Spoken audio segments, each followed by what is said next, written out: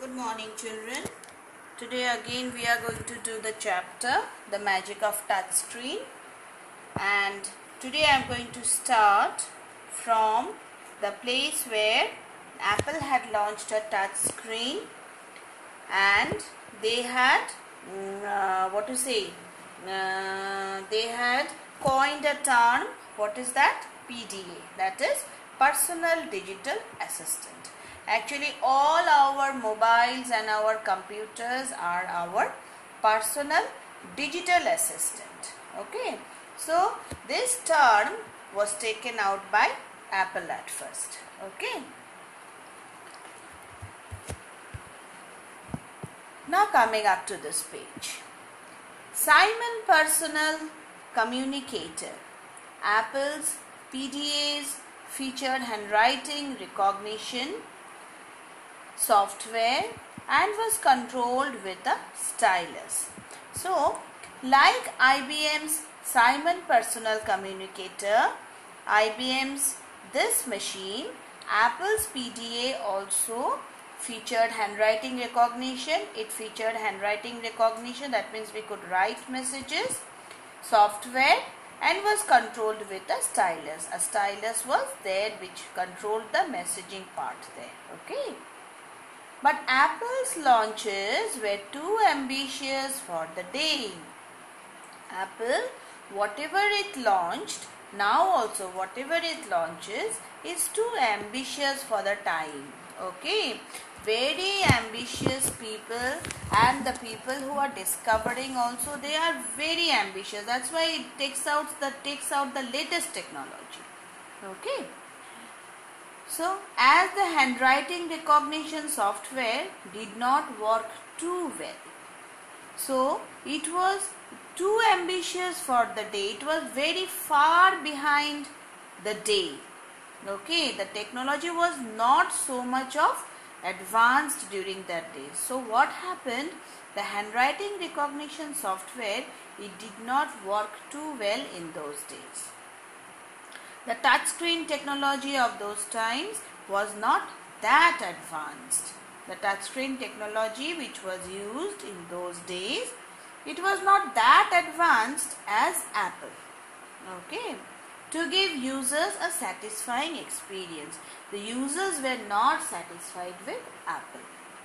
Okay.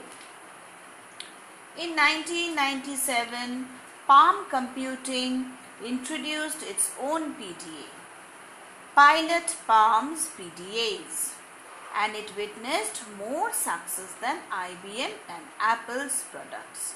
So, please underline this Palm Computing. They introduced their own PDA. What is a PDA? That is Personal Digital Assistant which was more successful than IBM and Apple's products.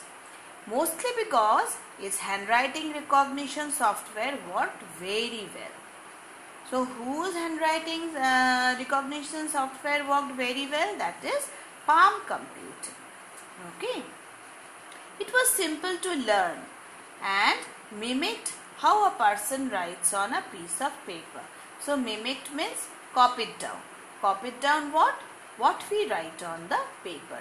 That thing that particular type of writing could be done in the screen okay of palm computer. Understood? Near the end of the decade university of delaware student wayne westerman published a research paper. What was written there? Hand tracking finger identification just see what are the things we have now. Hand tracking finger, finger identification and chordic manipulation of a multi-touch surface.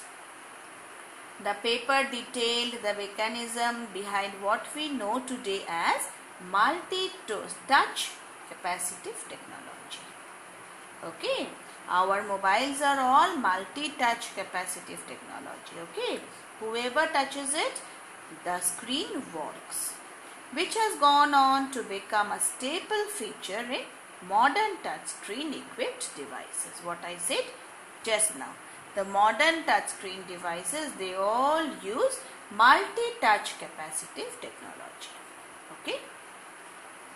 Westerman and his teacher John Elias formed a company called Fingerworks. Mark down that Fingerworks. Okay, the name of the company was Fingerworks in 1998. It began producing a line of multi-touch gesture-based products. They produced a line, uh, what to say, a simultaneous, mm, what to say, uh, pictures of multi-touch gesture-based products, including a gesture gesture-based keyboard, also called touch screen. touch screen. For people suffering from disabilities. People, many people were suffering from disabilities also. So what did they take out? A TouchStream for people suffering from disabilities. Fingerworks were brought by Apple in 2005. Now finger Fingerworks like with the fingers which we are using nowadays on the screen. This was brought by Apple in the year 2005. Many feel that this acquisition was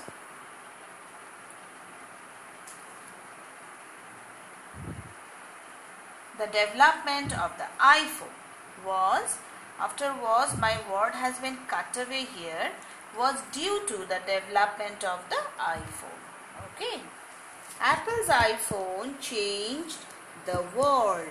So Apple's iPhone it changed the worlds perceived touchscreens forever whatever the world had perceived for all these long long years all had been changed by Apple touchscreens.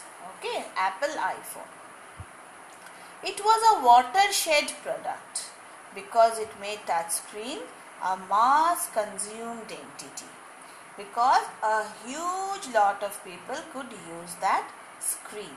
Okay, so it was a mass consumed entity, mass consumed thing. The iPhone was the first product which made touchscreens a truly user-friendly product.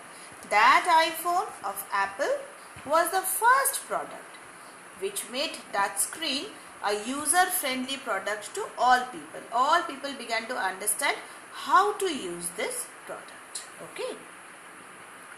The touch-sensitive screen that iPhone uses includes a layer of capacitive material. So, the touch sensitive screen which iPhone uses, what does it use? A layer of capacitive material. However, the capacitors are arranged according to a coordinate system. The capacitors are arranged there, okay, uh, in a coordinate system means one coordinates the other, okay. Its circuitry can sense changes at each point along the grid. So its its circuit, okay, the circuit which it is using, its circuitry can sense any changes at any point along the grid. So this IBM was very what to say user friendly that's why okay since it could sense any changes there in the circuit Every point on the grid generates its own signal. Every point on the grid which was there within the iPhone, it generated its own signal. It, gener it gave an own it gave its own signal to the user. Hmm. When touched and relays that signal to the processor and gives a signal to the processor also which is inside the phone. This allows for the location of simultaneous touches in multiple locations. So this is the uh, process which is allowing multi-touch in the screen. Okay, every grid has got its own way of reading the touch. So everywhere, suppose I touch here and somebody else touch the other touches the other place. So what is it doing? It allows for the location of my simultaneous touches in multiple locations. If anywhere where we touch it can be read by the uh, what to say the processor okay Another crucial aspect of the great utility of iPhone touchscreens is the software. The software which it was using, which backs it up efficiently. The software is designed to interpret the touch patterns. The software which it is using is also designed to interpret the touch patterns and differentiate between a single touch, a sliding touch or a pinch touch.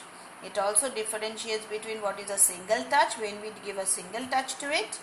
When we give a sliding touch, we are sliding something, carrying it down and carrying it up or a pinch touch. A pinch touch where we are separating things from each other. Okay. Combining all of these factors has resulted in the great user experience that has since become a benchmark for the techno world. So this is a Apple iPhone is a benchmark. Okay, that means it is a standing point of the technological world.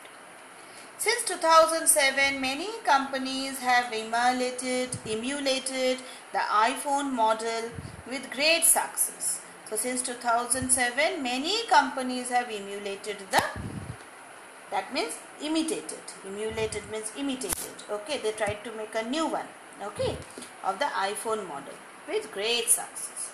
Thanks to the rising popularity and demand for touchscreen phones they are all thankful to us that we are using the touchscreen phones. The technology has become very affordable too. So now the technology of course it is affordable because we all are using all these phones and mobiles phones, telephone, uh, mobiles and laptops and all, isn't it so? Okay children, so this much. Today with the third part of the explanation, I will be sending you all only question number 6. From this chapter, we will be doing only the question answers and we will be doing meanings and I will be sending you all some make sentences also. Please solve it up. Take your time and send me. Okay children? Goodbye.